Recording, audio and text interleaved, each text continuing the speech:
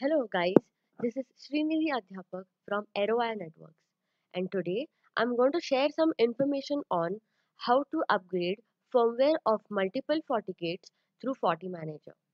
Each FortiManager can support multiple firmware versions for managed FortiGates.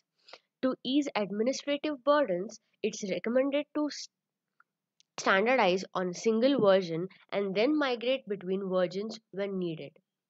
You can upgrade all FortiGates at once or perform batch upgradation for selected firewall.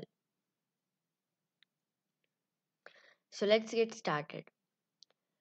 Log on to FortiManager, go to Device Manager, click on Firmware. When you click on Firmware, you get the list of all the FortiGates gates added. Here, using the checkbox, you can upgrade all the FortiGates to single firmware version at a time or upgrade to different firmware versions parallelly as shown in the video.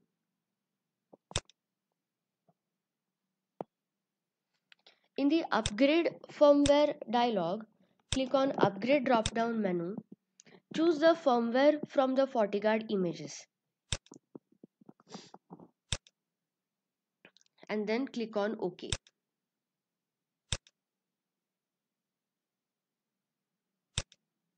So here I have demonstrated upgrading different FortiGates to different firmware versions. FortiManager downloads the firmware from FortiGuard server and upgrades the selected FortiGate device.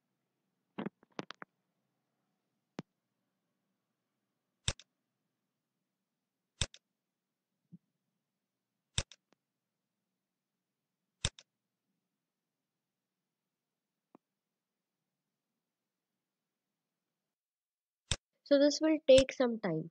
Generally it takes 20 minutes to upgrade.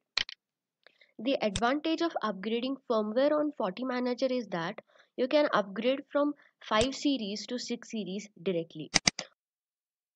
On one single click, you can upgrade the firewall without following the upgradation path.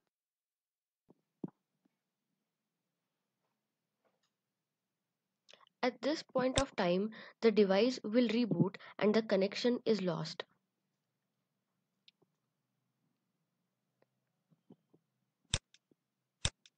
Click on close after the upgradation is complete. The upgraded FortiGate devices are visible in device manager.